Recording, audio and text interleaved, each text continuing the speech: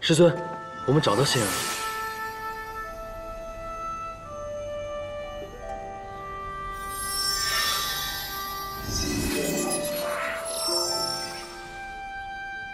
小火凤的一分仙缘已经进入火皇域了。这一分仙缘是我们在剑冢的上古梧桐树树心中找到的。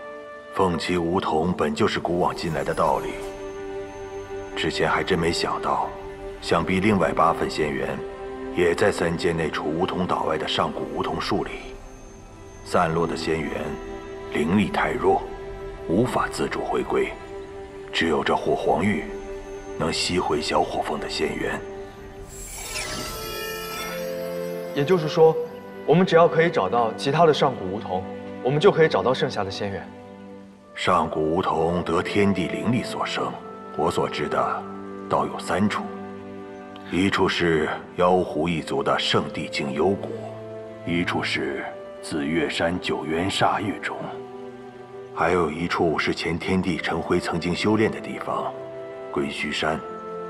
其他几处，只能继续探查。既现在我们已经知道三处上古神树所在之处，那找到风影仙缘岂不是很容易了？掌教师尊，虽然你已晋神，但是你答应过我的事情，可别忘了。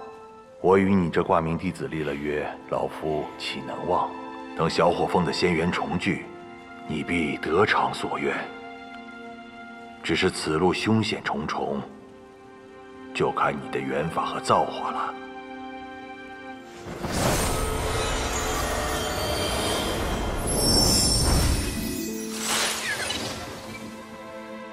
这是为师进神前运出的仙丹，助你二人提升仙力，日后仍莫忘日日修炼。多谢师尊。